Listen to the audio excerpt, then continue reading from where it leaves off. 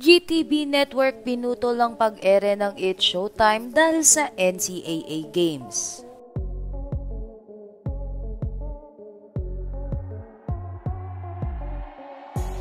Labis na ikinagulat ng madlang people ang ginawang pagputol ng GTV kanina sa noontime show na It's Showtime. Habang nanonood kasi ang ilan ng It's Showtime sa GTV ay nagulat na lamang sila ng basketball na ang kanilang pinapanood. Kaya naman labis na ikinabahala ng madlang people ang tila magiging maiksing pag-ere ng It's Showtime sa GTV. Samantala, matatandaan na inanunsyo ng NCAA basketball na mapapanood sila tuwing Martes, Miyerkules at Biyernes alas 2 ng hapon sa GTV. Umasa naman ang madlang people na gagawa ng paraan ng naturang network para hindi maputol ang It's Showtime. Ngunit taliwas sa inaakala ng lahat ay mas pinaboran ng GTV ang NCAA basketball. Sa kadahilanan na rin siguro na nakikitiran lamang ang It's Showtime sa sister channel ng GMA. Dahil naman sa 2pm cut-off na ginawa ng GTV sa It's Showtime ay naapektuhan ng segment nila na tawag ng tanghalan.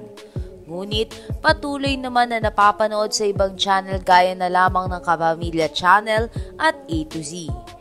Gayunpaman ay nananatiling tikom ang bibig ng mga host kanina sa It's Showtime wala pa rin silang inilalabas na statement hinggil sa time slot nila sa GTV.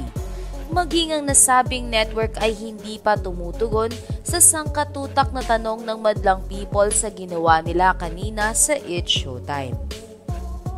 Sa kabilang banda ay umaasa ang madlang people na gagawa ng paraan ng GTV na maging maayos ang time slot sa kanila ng It's Showtime Anila ay hindi nila matatanggap na hanggang alas dos na lamang ang It's Showtime tuwing Martes, Miyerkules at Biyernes.